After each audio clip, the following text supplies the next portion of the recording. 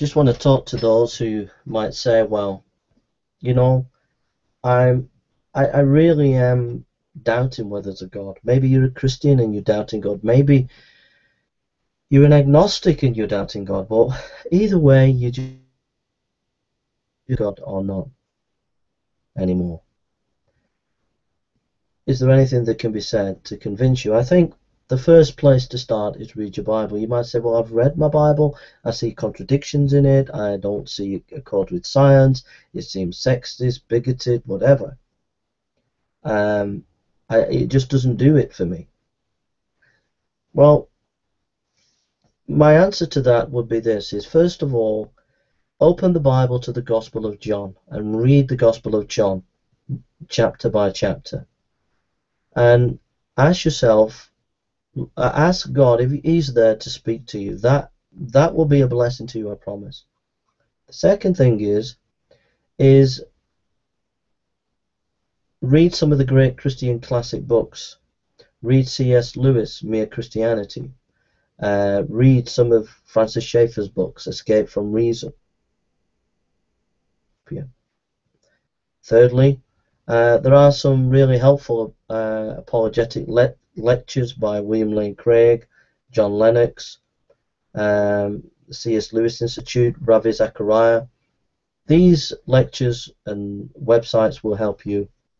Um, Presuppositional Apologetics 101, uh, Covenant Theological Seminary, Reformed Theological Seminary, Southern Baptist Theological Seminary, uh, all provide free courses that you can uh, have a look at iTunes on any particular topic that will help you.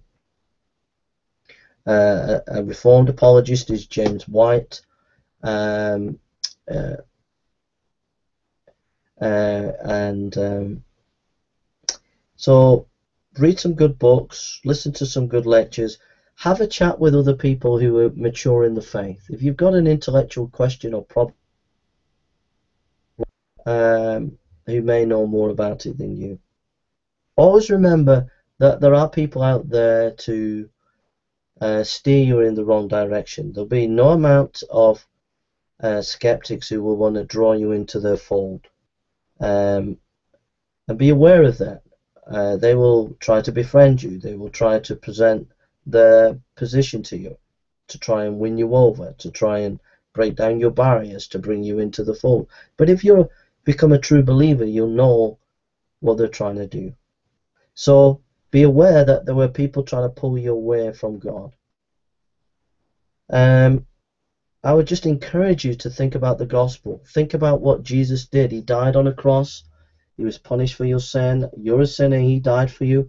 And from that position, if you come into a relationship with God, God will then answer your questions.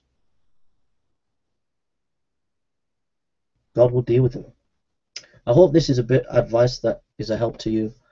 And um, I've been to two seminaries. I've been to a liberal seminary, evangelical. I've listened to all sorts of lecture lecturers, gay lecturers, uh, liberal lecturers, uh, and evangelical lecturers. And I can honestly say that for me, I've come to realize that the Christian faith is true, and I've not gone the way of liberalism.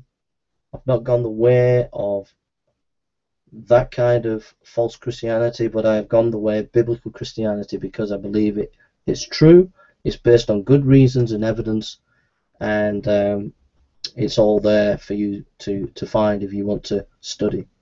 Uh, have if you've got some really difficult intellectual problems, go to Tectonic Apologetics, uh, Apologetics Press, Apologetics 13, uh, Dr. Phil Fernandes. Uh, um, Ravi Zacharias' website, and C.S. Lewis Institute.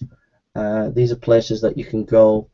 Um, have a look at the Discovery Institute. Um, these are helpful places that will help you and encourage you. And also L'Abri Fellowship. Uh, you can go onto their website and find at L'Abri Fellowship lectures. And also you can go and stay in the summer if you want to think through issues. I hope that has been a help to you. you yes, you can go to the L'Abri Fellowship and study there if you want to know more about Christianity.